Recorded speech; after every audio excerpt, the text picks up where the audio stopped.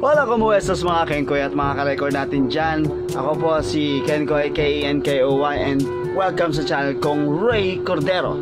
And for this uh, segment, we're gonna be doing another reaction sa FB game or this time it's a GIF po. Uh, GIF, GIF? Is that how you pronounce it? GIF? Meron pong GIF na lumalabas sa newsfeed ko and then may mga may tanong doon na how will you spend Valentine's Day? Tapos ang dami lumalabas po ng mga ano iba't ibang mga gawain or ano mangyayari. Tapos pagka pinos mo kung anong saang word huminto, yun yung sagot. So, tara, try natin 'to. How will you spend Valentine's Day? Press now.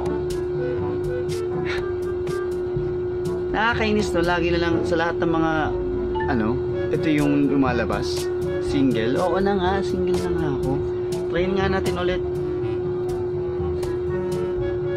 How will you spend Valentine's Day? Alone. Okay? Single na nga, alone pa. Next.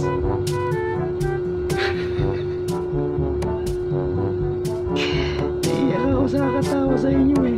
Crying naman po. Ay nako. Puro yun yung lumalabas masasaklap yung mga lumalabas.